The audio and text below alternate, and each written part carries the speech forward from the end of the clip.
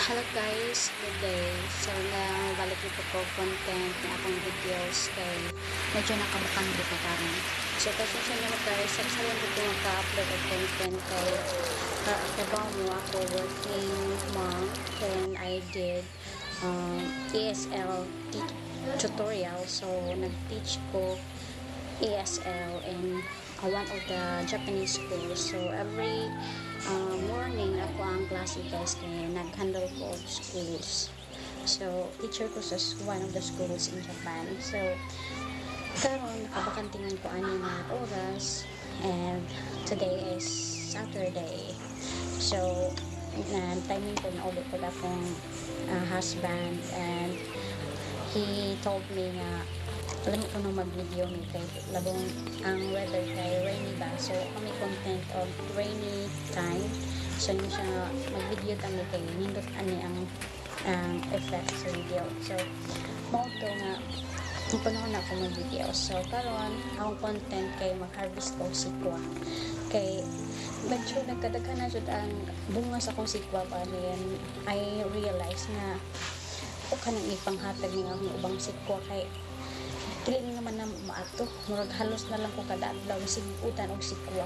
Naingon sila nga ang sikwa ko no is a very good kind of vegetables kay it can help lessen the uh, cholesterol level. So nang mayo kaini siya sa mga taas o dugo bitaw.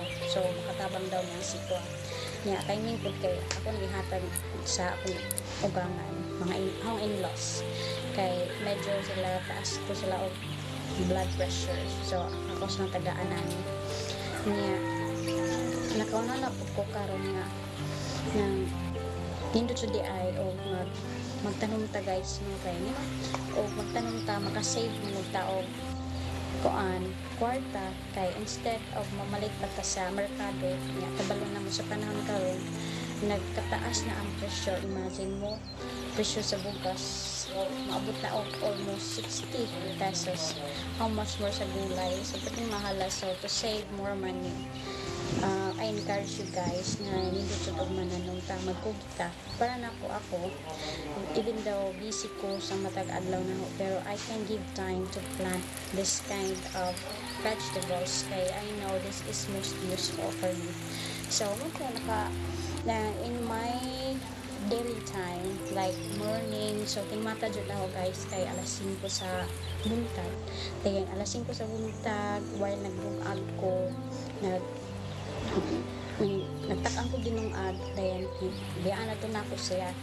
Kaya na rin ako magbungag sa kahoy guys. So ito hubas ato.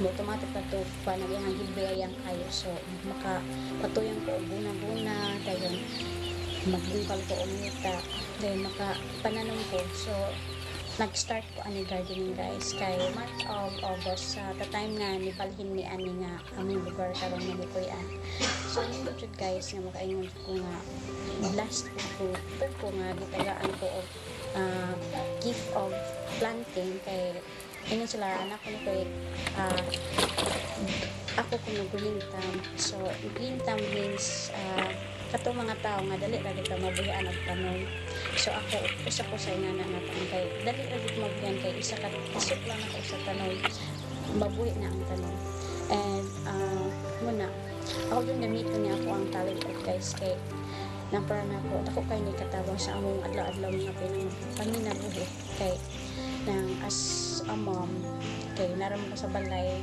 daw nakoy trabaho online. Pero nakoy time ani nga pagpang garden so I realize nga dili lang ko dapat magsige og salig sa akong husband kay ang siya po. Nako siya gi. As asikaso nga agi atubang nga obligasyon kay nag-eskwela siya sa igsoon so kami murag mahugnig iyahay mi og kaning kamot sa karon pa. Pero nami gilaanan sa mong kwarta nga nanap mo sa ka project so mo to so thank you for watching guys